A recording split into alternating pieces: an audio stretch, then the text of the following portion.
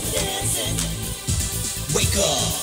Wake up dancing. Wake up. Wake up dancing. Wake up dancing. Wake up dancing. Harv Roman's gonna make you dance. Wake up dancing. Wake up. Wake up dancing. Wake up dancing. Wake up dancing. Wake up. Harv Roman's gonna make you dance. He's, act- he's actually on the celebrity hotline, way off on the East Coast, I believe, right? Yeah, that's right. Where are you You're hanging at? Where are you hanging at right now? Well, I'm hanging out right now in uh, Jersey, and it's next to uh, Philadelphia, and I'm having a great time down here. That's what I thought. I saw the area code and I said, wait a minute, this is not going to be a New York thing. And my my first guess was Philadelphia. well, no, it's, it's near Philadelphia. It's like towards Cherry Hill, towards down there. Even though my hometown is New York. Mm, That's where I was uh, raised in New York. but not where you were born. Not where I was born. I was born in uh, Puerto Rico. Yeah, I'm look. I'm looking at the bio, and I'm reading that he's from Rio Piedras, Puerto Right. Rico. Rio Piedras, Puerto Rico. Which is- 100% Latino. That is very cool because I have a whole tribe of cousins. The um, whole Dones family Really? is from Rio Piedras in Puerto Rico. Yeah, it's And- nice. It's nice over there. I mean, you There's know, there's like a million of them. it's cool. It's cool. And And, you- and I came like very young. I came very, very young to uh, New York, and that's where I was raised, and that's where, you know, I loved freestyle, and that's where everything started for me. Really, was in New York. Now, being born in Puerto Rico, were you affected at all by the style of music there? Uh, yes, I was. I was. Um, in a way that I, I think Latin people, like like Latin people that come from Puerto Rico, they, they have like uh, uh, a tendency to want to do both things, sing in Latin and sing in English. And I think it's, it's it, it did affect me because I like their sound, and, and it, it helps to be more creative in today's freestyle sound. How um, early or how late did you leave Puerto Rico to come to New York? Uh, well, I, I went back and forth, but my first trip here from Puerto Rico, I was only a month old. That was it. that was it. And then I kept going back, and I, w- I was good for two years and study over there, and then I came back. Mm. But really, really, you know, I came very young from Puerto Rico to here. In terms of the music, um, what would you say would be the major differences between what you experienced over in Puerto Rico and then you came over to the East Coast and did some more experiencing? Uh, it, it, it's it's big difference. There's a big, big difference. I mean, over there, uh, to be honest, like uh, something like freestyle would be would be very, very. I can't even explain. It's so giant over there because it's, it's different sounds. They love heartbeats, and over there, typically everything is, is salsa, merengue, you know, a little bit of of, of um, Caribbean music. But when you take a, a, like a, an English record, like like a dance record, they go crazy. They love it because it's, it's, it's it's a different sound for them. It's not something that they, they, they commonly used to. You're, you're fairly young. I would imagine when you were coming up, Menudo must have been like the big thing over there. Oh yeah, yeah. I, I saw Menudo live a couple of times. I used to be a big Menudo fan. Um, so I, I saw them live a lot of times. I hanged out in, in like in the backstage when I was when I was small. Because my family, I come from a very like uh, music-oriented family. Uh, my brother plays, plays drums. He plays for like different groups. Um, usually like like uh, church bands and stuff like that. I got an aunt that sings. Uh, she's in Puerto Rico, but she sings. She, she sings professionally, but not for the crowd. She sings for like uh, homeless people, and they come out with records, and then they donate all the the money to to helping them shelter and stuff like that. And she does also uh, singing for other countries that are in war. And with the recordings, they just give the money to build houses and stuff. So I come from a very oriented like music family. That's how come it came in my blood. So these were the ones that influenced you to maybe take that step. Yes, they did. I always wanted to be a singer since I was little. I mean, I always practiced, and I would put people's records on and and sing along, and you know, and, and do those crazy little stuff when you're little. So you land on the East Coast after spending um, part of your life in Puerto Rico. Was the plan there to enter the world of music, or is it just something that happened along the way? Uh, no, it started very young. I always, I always knew I wanted to get into music. I didn't know how I was going to get into it, or, or, or I tell you the truth, I didn't know if I was going to be singing English or Latin. Okay, because I was doing a lot of like practicing a lot of Latin stuff, learning a lot of songs in Latin. I really didn't know which direction at that point, but I knew definitely that I was going to be an artist. How um, how discouraging was it, if at all, just a couple of years ago? I mean, you are a freestyle maniac. Right. Um, it seems like most of the music that's affected you has been freestyle, and of course the the, um, the songs that that I've got from you are freestyle songs. But a couple of years ago, freestyle was considered to be um, the bad bad stepchild in terms of music. Right. And uh, you stuck with it, and you continue to go with it. Well, I I think I think in, in, all type of music, you- you're gonna have times where the music either, you know, either you know they stop producing good records or it just flows out for a while. But you gotta believe in your music. I believe 100% in my music. I love my music, and I love my music for many different reasons. One is because it's, it's positive. I mean, I don't sing about negative stuff.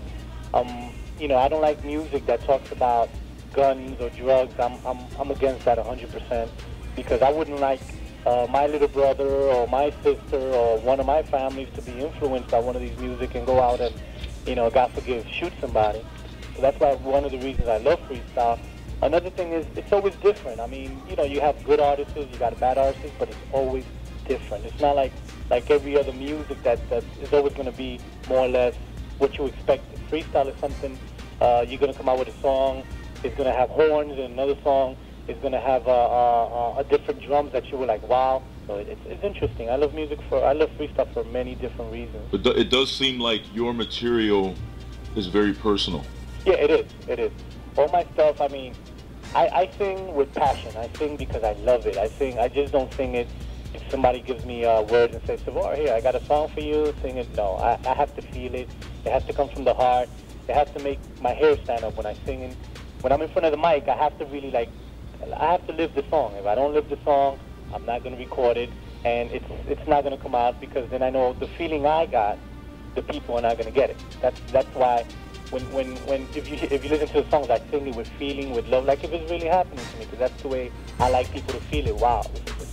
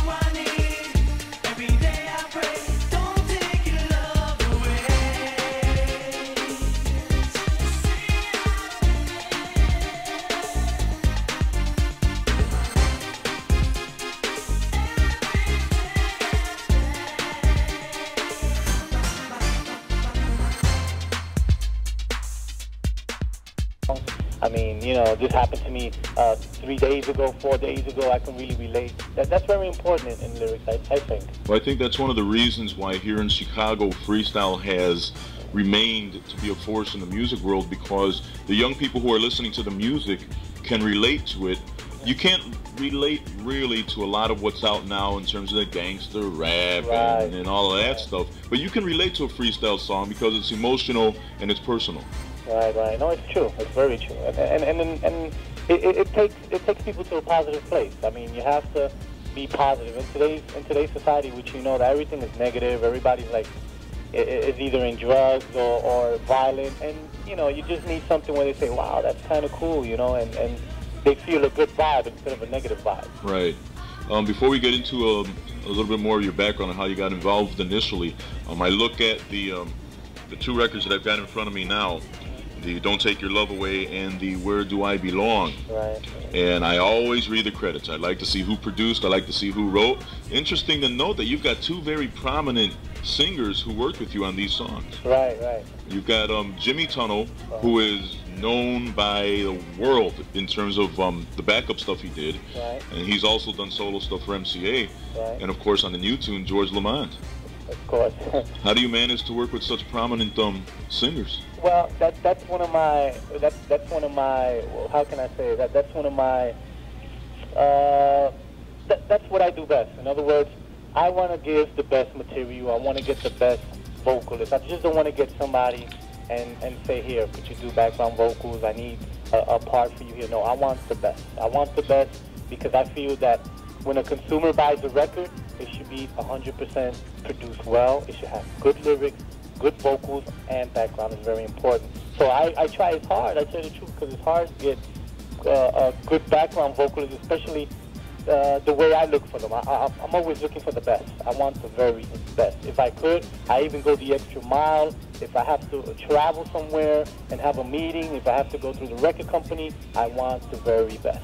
I mean, I couldn't get bigger than that because sometimes it's impossible, but I try to get the best I could. And, and you're always going to see that in every record. Um, I don't know if you've seen in Tears, also uh, the one who did background vocals was Johnny Young. Johnny Young also worked with MCA, and he's a rock artist. He Okay, does uh, um, rock bands. That's the one that we were talking about yesterday off the air, Yeah. uh, where Tim Schomer gave me a cassette, so I have no credits at all on that. Right. I have a cassette from Tim Schomer, and it was a killer song, but I knew nothing in terms of who worked with you on it. And it's interesting to note that Johnny Young um, is your third in your trilogy of um, people who have worked with you on your on your music. No, uh, Johnny Young, not Johnny Young. Oh, my fault. I said Johnny Young. It was Johnny Young. He's a rock. He's a rock star. Um, he does very, very good stuff for like MCA Atlantic, and his voice is like is like a, a Jimmy Tunnell. Very, very, very great. Great. And I think that's important. I don't think you should put anybody just to do background because you want to hear. You want them to hear hear the voice, hear the, the the feeling you have towards the song, build it up. I'm I'm very creative when it comes to my song, and I'm very personal, and I try to give it. Or I, I want everybody to recognize Savour as an artist who gives who gives quality product. That's that's my main thing. I think if you give quality uh, product, people will always respect you. Uh, people will always buy your records, and the people will listen to it, and, and you'll always give credit for that. And you can tell too in the production work, um, the work that you do with these with these people because um, the harmony is incredible. And Yeah. you can you can even tell who it is if you know the singers Right. that singing background. And, and I would imagine that there are some artists, especially new artists, you've only been around a couple of years, Right. that um, maybe they wouldn't have tried it because maybe they didn't want to be overwhelmed or something. Right. Well, they're scared. I don't think. I don't think. Uh, I don't think you should be scared to letting somebody, uh, you know, pretty famous or somebody with a great voice do background vocals. I think you should be. I'm pretty honored to be working with the people because not everybody got a chance to work with the people I have. So I'm pretty, you know, I'm pretty happy. I'm pretty honored, and and I'm going to continue to do it. I mean, as far as, as, as I know, I want to get the best the best background vocalist. That's very important in records. These, the new artists today, they don't understand how how well how, how important it is to get good vocalists, get a good producer, work the extra mile. That's very important. That's what really makes the song. You going the extra mile. Mm, And 1994, of course, being a big, big, big year for you with um, Don't Take Your Love Away. I guess it was probably the most successful year you've had thus far. Yeah, definitely. Don't Take Your Love Away was very, very good. Uh, that record did very good in New York. It got a radio play on 97.9. Uh, all the mix shows everywhere. I even did like three uh, TV specials. Uh, I did uh, Show de Mediodía in Channel 41, and that's for the uh, Univision, which is the the Latin station that goes everywhere. Okay, it's just everywhere. And I, I did a couple of shows uh, for Florida uh, for the TV, which called Control, and a lot of stuff that was very successful, and, and, and I'm very happy. But again, that's because you went the extra mile with a record. A record, you have to do everything you could so it could come out slamming. It has to come out slamming, or it shouldn't be out in the shelves. Now, is that what led to Where Do I Belong? Yeah. And then the question also becomes, if you look at Where Do I Belong, it's with a different company. Yeah. Well, okay, the different company is because uh, I expect, I'm, I'm one of the, the artists that I think I'm a little, I'm a little complicated than all the other artists. The reason for that is that I want more than what, what people can give me. What, what I mean by that is that I want the record company, I, I think one of the, the problems that freestyle has is the lack of promotions in a lot of these companies. They should get, really get behind the artist. And, and I think that promotions is what makes the artist. Some people, you know, say it's a song. Yes, it's a song, but it's the promotions because if you don't got a good promotions, nobody's going to hear your song. Nobody knows you came out with a song, and that's where I think a lot of a lot of times these these record companies they lack promotion. You got to if you believe in the artist, you should promote 100%. If you don't believe in the artist, you shouldn't you shouldn't pick them up at all. What's the deal with that over um, on the East Coast? New York used to be uh-huh. the city to go to, the state to go to when it came time for the um, the big freestyle acts. The freestyle acts are still there, but the music isn't making the noise that it used to.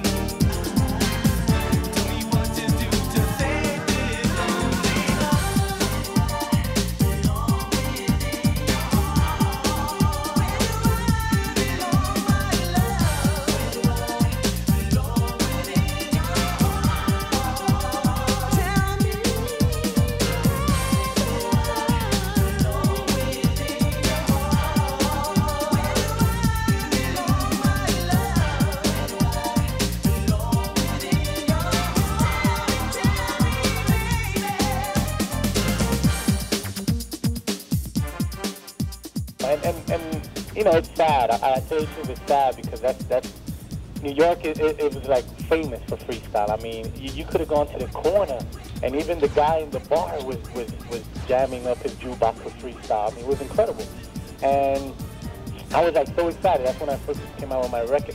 Freestyle was everywhere. I mean, it's in the air. You can go to the supermarket. Sometimes they played it on on, on the, the the loudspeaker. I mean, it was incredible. And it had a lot to do with, with the, we had a station here called Hot 97. It was like number one, and freestyle took that station to to number one, to be number one on on on the on uh, the charts there, the, the radio charts, I guess. And it was making so much noise, and a new buyer came in, and he figured he needed a he, he was used to another format and another way of music, which that happens to unfortunately a lot of labels they either sell or, or new directors come in and they change the program. Kind of sounds like the radio business. Yeah, and unfortunately, I, I, I have a I, I have a, a saying that says if it's not broken, don't don't try to fix it because there's nothing wrong with it. You're doing good. Uh, advertising, all the clubs in New York was advertising. They made it number one, and then he came and he changed it all the format. And unfortunately, uh, from the format, freestyle wasn't in the format no more. So um, nobody started like like listening to freestyle more because it wasn't on the radio and music is commercial. So whatever's on the radio, that's what the people go for. Unfortunately, it shouldn't be like that because you got like uh, you got you got rock and roll, and a lot of stations don't play rock and roll, but rock and roll is still alive and making millions and millions of dollars. And but like I said, they changed the format, and unfortunately, freestyle stood out, and that's what really dropped New York from freestyle. But it's in the air. You you can feel it. Everybody misses it.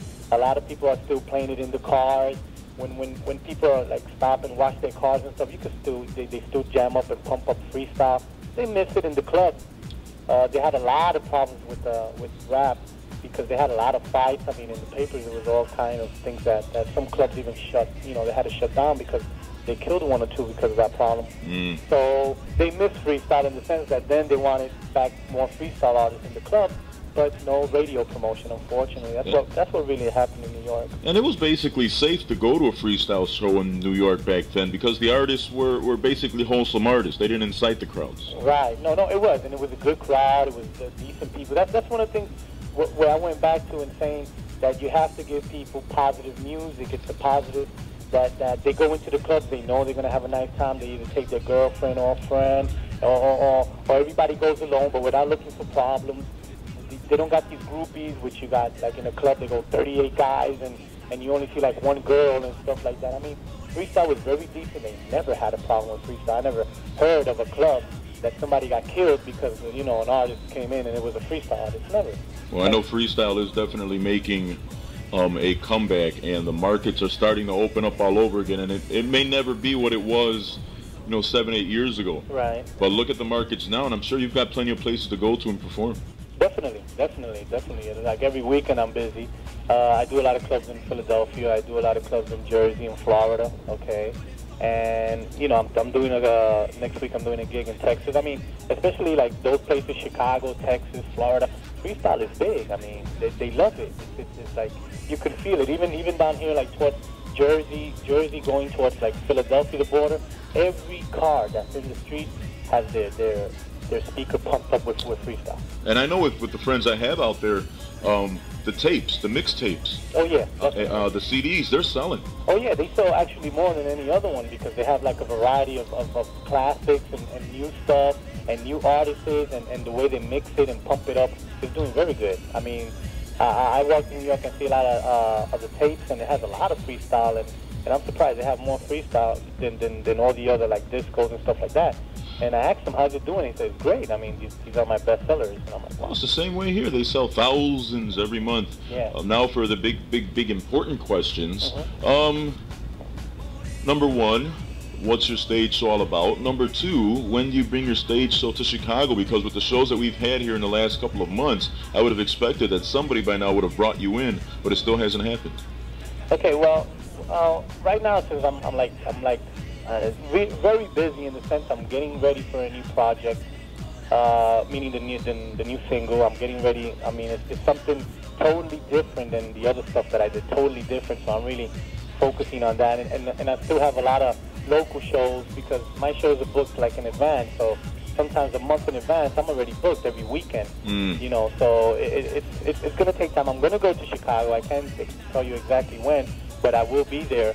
Uh, but like I said, it's, it's kind of hard because I'm dying to go to Chicago. I think I, I love Chicago because they gave me the support from the beginning, and, and, and I appreciate you and, and everybody in Chicago that supported me and they tell me they love my music, and I love them for that. Yeah, that, well, that's why I asked the question because the listeners requested left and right. Um, Tim plays it in his mixes. I'm playing it in my shows, and I'm like, well, why don't the promoters jump on it? it, it, it don't make no sense. Yeah, well, who said who said music makes sense? That's true. That's exactly true. Um, anybody else maybe that has helped you out that maybe you want to mention while we're on the air doing the interview thing? Well, you helped me out a lot, and I want to thank you. Okay, and also Tim Schomer. Tim Schomer is a great guy. Uh, I wish everybody would support him because he's one of a kind, and he's really helped me out. And I owe so much to Tim. If not, if it wasn't for Tim and you, I mean, my music wouldn't even be heard in Chicago. So, you know, I appreciate that. Well, the bottom line is it's good stuff. Thank you. So why, you know, why keep it underground? Right. And, and I and I say my thanks to Tim too because Tim has this habit of when he gets something new, he throws it on cassette, and he'll give me a copy if I don't already have one. Right. And if, if I'm lucky enough to scoop him, which doesn't happen like it used to, I can do the same thing for him. And, and the music itself needs to stay alive. Right. No, Otherwise, you know, artists like you are it's going to be limited. Right. Can't have that. Any um final words for everybody who's a fan of Savour here in um, Chicago? Well, I want to thank you. Like I said, I want to thank everybody for supporting me. Uh, I want to thank you for enjoying my music, and uh, the next single is gonna be something uh, really to look forward uh, to look forward. Uh, it's gonna be hot. It's gonna be different. Okay, it's gonna be different from "Don't Take Your Love Away" and "Where Do I Belong." When I mean different, I mean it's gonna have a different flavor. It's gonna have uh, a different style to it. It's gonna have different vocalists. I mean, it's gonna be something hot. I'm really working on it. I mean, I've been working for it, tell you the truth, for about four months. That's how much time I put into a project, meaning getting the right vocalist, getting the right beats, getting the right music, and, and I want it to be slamming, and I'm sure the crowd is going to love it because that's why I'm doing it. I'm taking so long to do for the crowd to love it. Well, I'm sure that they will enjoy it, and I hope that when that project does come out, I would imagine at some point you've got an album in the works. Yeah, well, I'm working. I'm working on an EP actually. I'm working on, on some good stuff, and I'm, I'm working on with different producers also to give it a little flavor, uh, a little different different uh, a feeling. Uh, and I got some pretty cool stuff, and I'm also working on a ballad. I mean, a great ballad. I'm Good. talking about the type of ballad that you're with your girl and you want to hug her and kiss her and you say, wow, don't ever leave me, that type of ballad. We need more slow jams. Definitely. All right, well, listen, it's been uh, nice talking to you on the Sunday afternoon. Version of Words and Music, the words and music of Savour, and when the stuff does come out, we do need to talk again. Okay, And if not on the Celebrity Hotline, hopefully you'll be in the city and we'll just do an in-studio visit. definitely. And I want to thank you for having me and thank you for supporting me and helping me, and, and I love your show. Well, thank you for giving us with the music, with the nah, nah, nah, nah, nah, nah. Thank you for providing us um, with the killer music and for keeping the uh, freestyle movement alive. Because if we didn't have the artists, you know, the music would just probably fade away. Okay, thanks, thanks, and, and keep supporting the music that I love, so, uh, freestyle. That's, that's, that's the music it be.